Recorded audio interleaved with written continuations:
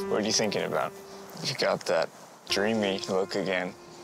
You and me, getting on a train. It's a nice dream. Ian Racy came into the shop today.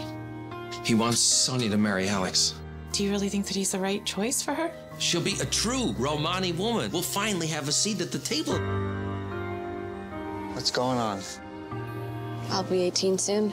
And? I should be engaged by now. I'm not gonna meet your family, am I? I'm not supposed to be talking to you. Our community celebrates the vital importance of the union of two of our own in marriage. It is the lifeblood of our community. Am I right? Happy birthday, Sonya. You look beautiful. Uh, thanks. Well, would you like to dance or? Sorry, I have to go.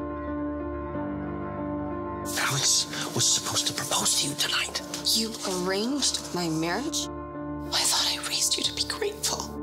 I am, but I want to live my life.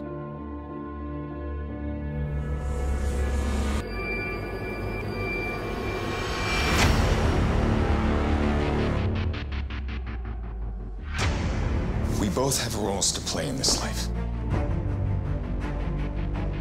And you will remain here until you accept your duty to my son. Sonya! I never asked for any of this. Sonya! Hey, stop! Sonya! Call 911! Traditions makes us who we are. Marrying your son is not my duty.